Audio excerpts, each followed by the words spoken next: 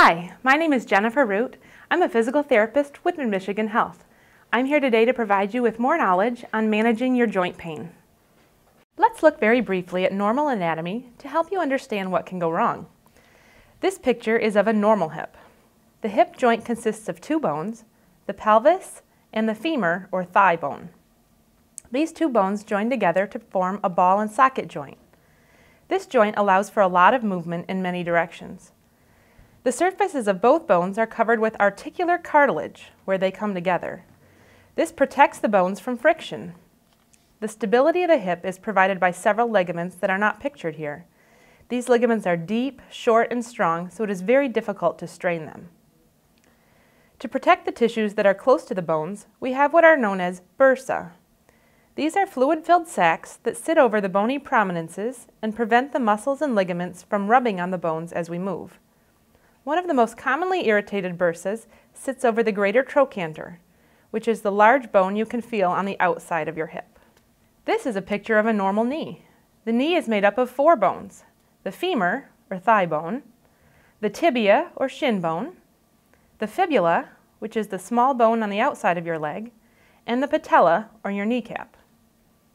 The knee is a hinge joint, which basically means that it has two motions, bending, or flexion, and straightening, or extension. There are two kinds of cartilage in the knee. The first is articular cartilage, like in the hip, which covers the ends of the bones and protects them from friction. The second is fibrous cartilage, which in the knee is called a meniscus. These provide cushion and shock absorption for the joint. There are two menisci in the knee, a lateral, which is on the outside, and a medial, which is on the inside.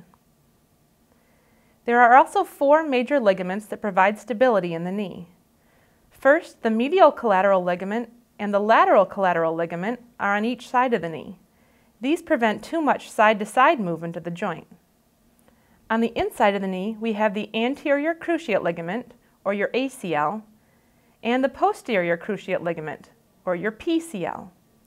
These ligaments prevent too much front to back movement or twisting. There are also bursa in the knee. These are fluid-filled sacs like we saw in the hip. One of the most commonly irritated ones is under the patella. Osteoarthritis is also known as degenerative joint disease, or DJD, or it's known as wear and tear. It occurs as the articular cartilage of the joint surfaces gradually wears away over time and becomes rough and gets little holes in it. You may hear the term bone on bone. This means the cartilage protection is worn away and the two bones directly contact each other. Osteoarthritis causes the joint to become stiff and painful. Symptoms of osteoarthritis include limited motion, difficulty walking, pain, stiffness, and swelling. But not all joint pain is arthritis. There are many things that can go wrong with a joint, and just because you have pain does not mean you have arthritis. Some of the common things that can go wrong are as follows. Bursitis is an inflammation of the bursa. It is usually caused by repetitive movements or a new activity. Tendonitis is more common in the knee than in the hip. Like bursitis, it is usually caused by repetitive movements or a change in activity. Tendonitis is an inflammation of the tendons, which connect muscle to bone. Ligament tears are usually due to a traumatic injury, and again are more common in the knee than in the hip. Most commonly, these injuries occur with sudden forces, such as being hit in the joint, or with twisting motions. Muscles can be injured or overused, or are injured with trauma, such as a fall. There are many muscles around both the hip and the knee joint. A meniscus in your knee can be torn easily, especially with a twisting injury. And finally, sometimes what you think is hip or knee pain is actually caused by irritation to the sciatic nerve in the low back, buttock, or back of the leg. This nerve runs down the outside of your leg and can give you pain into the hip or knee. Looking at all these types of injuries, sometimes it's difficult to determine what is wrong because the symptoms are all very similar. Most of these injuries result in pain, swelling, limited motion, or difficulty walking. It's important to see your doctor so that you can get an accurate diagnosis. These injuries can be treated conservatively with rest, medication, physical therapy, and sometimes injections. However, sometimes surgery is necessary. I want to speak a little more in depth about the management of arthritis. Although arthritis cannot be cured, that does not mean you have to live with the pain. There are many options you have to help manage the symptoms and live a full and active life. We're going to cover the importance and implications of diet, supplements, exercise, medication, injection, surgery, physical therapy, and what you can do to protect your joints. When someone says the word diet, the first thing that most people think of is losing weight. Although this may be necessary, it is also important to remember that a well-balanced diet with good nutrition and tissue hydration is vital to your health. Further, by reducing your weight, you will decrease the amount of stress that is placed on your joints. Along with good nutrition comes supplements. Diet supplements are not regulated by the FDA, and this means that manufacturers can make claims about the effectiveness that are not independently evaluated. This also means that different brands do not necessarily contain the same proportions of the active ingredients. You should always contact your physician or pharmacist before beginning any regimen of supplements to make sure that they will not interact with any other medication that you are taking. Glucosamine chondroitin is a well-known supplement that claims to reduce arthritis pain by increasing cartilage and making it stronger. Approximately 50% of people taking this supplement report that they have a decrease in pain after about two to three months. MSM is another common supplement. It is found in most foods as sulfur, but it is destroyed in most forms of cooking and preparation, and therefore supplementation may be beneficial. It is claimed that this supplement helps in reducing inflammation, strengthening cartilage, and supporting healthy joints. Cod liver oil has also been suggested to slow down cartilage degeneration and also to reduce the chemicals that cause pain and inflammation. Exercise is important as it keeps our joint lubricated, our muscles strong, and helps to keep your weight under control. Sometimes, however, it is hard to exercise because it can make your joint pain worse. There are many different forms of exercise that you can try. Aquatic therapy takes all the weight off your painful joints, and the warmth of the water can be very soothing. Low impact activities such as walking or bike riding can be helpful to increase joint motion and strength without excessive weight bearing.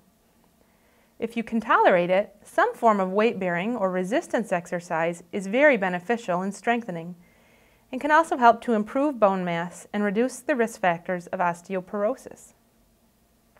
If exercise is difficult, then sometimes physical therapy can help you to get started with a carefully designed program to meet your individual needs.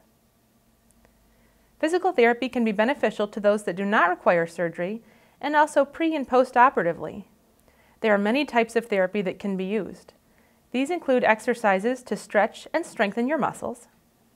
Modalities such as ultrasound and electrical stimulation can be used to ease pain and stimulate healing and manual therapy can be used to increase joint motion and reduce tissue tension. Gait training is important to improve the quality and safety of mobility both at home and in the community. And aquatic therapy is used to improve strength and mobility using buoyancy to reduce weight bearing on the joints. There are many different medications that your doctor may prescribe to help manage your symptoms. These can be broken into two groups. The first group would be anti-inflammatory medicines. These include ibuprofen, naproxen, and Celebrex. These all have side effects, and as you may be aware, the use of anti-inflammatory drugs has been significantly reduced in recent years due to the risk of heart-related side effects. Your physician would be able to discuss the risks and benefits of any medication that they prescribe for you. The second group of medications would be pain medications. They can be over the counter, such as Tylenol or acetaminophen, or aspirin. Other prescription pain meds can include acetaminophen opiate combinations, such as Lortab, Vicodin, Tylenol with codeine, or long-lasting opiates such as OxyContin. Again, your physician can discuss the risks and benefits of each medication. Injections can be used to deliver medication directly to the joint.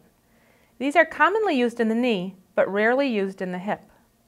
Corticosteroids are used to reduce inflammation and pain in the joint. They can be given alone or combined with a painkiller to give more immediate pain relief. They can be given once or sometimes in a series, and their effects last anywhere from one week to about six months. Synvisc and Supartz injections are performed only for the knee. These injections are designed to increase the lubrication of the joint and therefore reduce pain. This is sometimes mistakenly referred to as artificial cartilage injections, where in reality the injection stimulates the body's production of joint fluids, which increase the cushioning in the joint. These injections are given in a series of three to five injections spaced over several weeks. There are several forms of surgery that can be performed to ease joint pain. The least invasive of these is arthroscopic surgery. This is often performed to debride or clean out arthritic joints and also repair or remove torn cartilage or meniscus. This is commonly performed on the knee and less commonly on the hip. Joint resurfacing is performed primarily for arthritis of the hip. It is a relatively new procedure that leaves more of the original joint intact than a total joint replacement. The recovery time is less than for a total joint replacement, but not everyone is suitable for this surgery. Your orthopedic surgeon would be able to discuss the most appropriate surgery for you. A partial replacement can be performed in knee joints. This is typically indicated if one portion of the joint is severely damaged, but the rest remains relatively healthy. Again, the recovery time is less than for a total joint replacement, but not everyone is appropriate. Here we have pictures of a total hip replacement and a total knee replacement. Looking at the hip, you can see that there are two primary components to the prosthesis. The surgeon replaces the ball of the joint by removing the bone and then drilling a hole down the center of your thigh bone, where the shaft of the prosthesis is placed to hold it in place. The socket is then shaved down and a cup is put into place. In a total knee replacement, both joint surfaces are ground down and then a cap is tapped into place. A spacer is placed in the joint to act as the cushioning. The prostheses in either case can be made of several different materials. Each surgeon has their own preference, However, some of the options include stainless steel, titanium, ceramic, and polyethylene. Following joint replacement surgery, some form of rehabilitation is necessary. For total knees, this tends to be a little more intensive and lengthy than for total hips due to the muscles involved and the design of the joint. Finally, there are many daily activities that we perform that cause general wear and tear or stress on our joints. By adjusting the way that you perform basic activities, you can protect your joints from further damage and help to reduce pain and increase function. You should be careful to avoid static holding positions, such as holding up the newspaper when reading. Try laying it on a table. Make sure that you use good posture. Always use good lifting techniques, and make sure that your shoes fit correctly and have good support. The key takeaways for optimal joint health are number one, eating a balanced, healthy diet and staying hydrated. Number two, engaging in a regular exercise. And number three, identifying the source and cause of your joint pain so that it can be treated properly.